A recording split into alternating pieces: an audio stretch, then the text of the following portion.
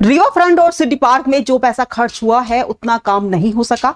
वर्तमान में केडीए की आर्थिक स्थिति अच्छी नहीं है। साल भर में इस आर्थिक स्थिति को सुदृढ़ करके बचे हुए कार्य को कराया जाएगा।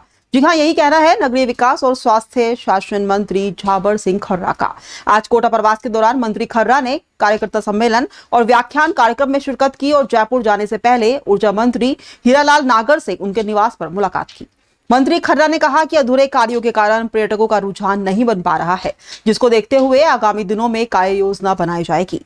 रिवर फ्रंट के द्वितीय चरण के कार्य को भी आर्थिक स्थिति के ऊपर निर्भर करेंगे। बिल्कुल अटका हुआ है, जितना पैसा खर्च हुआ, उसके मुताबिक काम नहीं हो पाया। ये भी हमारे संज्ञान में है।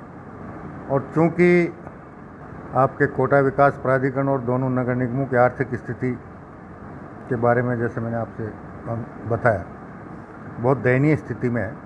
साल भर में हम इस आर्थिक स्थिति को सुधारने का प्रयास करके सफलता प्राप्त करने की ओर अग्रसर हैं और उसके बाद जो काम बच गए, शायद जैसे शुरुआती फ़ेज़ में कहीं भी वृक्षारोपण का काम नहीं हुआ है, जिससे लोगों का उसके प्रति आकर्षण नहीं है। तो ये जो 1600 करोड़ रुपए के लगभग इसमें रिवर फ्रंट में खर्च हुए उसका पर्यटन की दृष्टि से कोई ना कोई लाभ हो, इसके लिए भी हम कार्य योजना बनाकर काम करने का प्रयास कर रहे हैं।